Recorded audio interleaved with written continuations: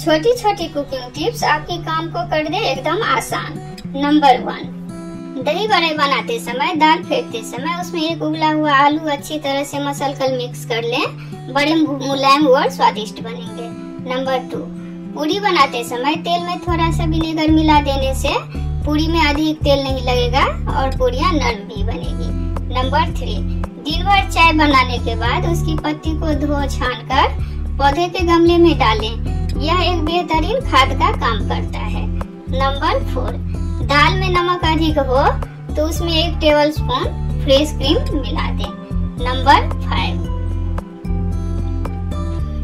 यदि देसी घी को अधिक दिनों तक ताज़ा रखना चाहते हैं तो उसमें एक टुकड़ा सेंधा नमक व गुड़ मिला दें।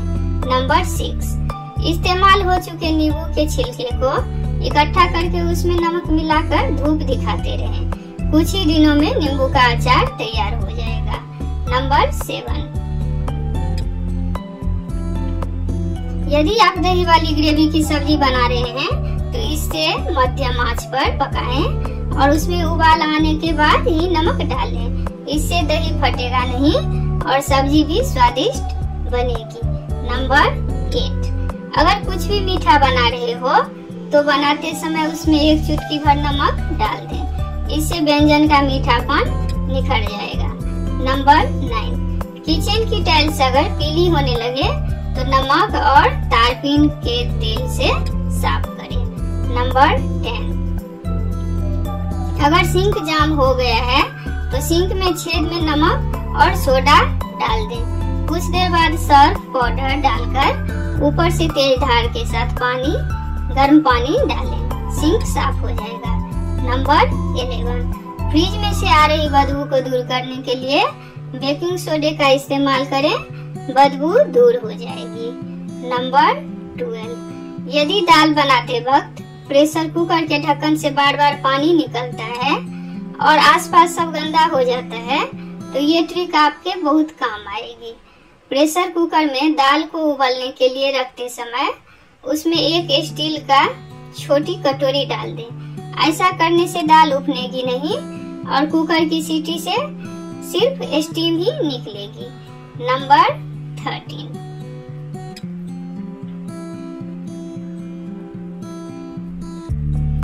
अगर राजमा भिगोना भूल गए हैं तो करें ये काम।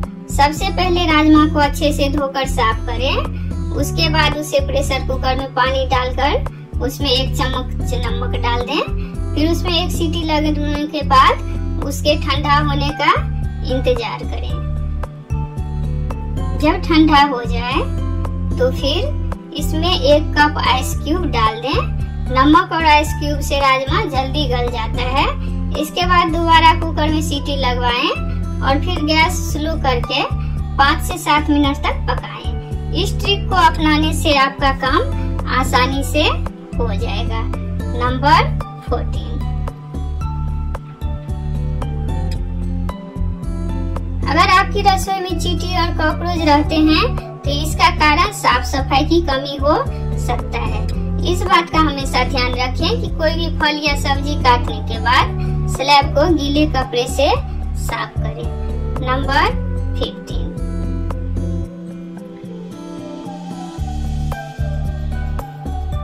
खासकर गर्मियों के मौसम में, चीनी में चीटियाँ पड़ने की समस्या लगभग हर किचन की कहानी है। इस परेशानी से निजात पाने के लिए आप चीनी के डब्बे में दो चार लौंग डाल दें, जिससे चीनी में चीटियाँ नहीं पड़ेगी।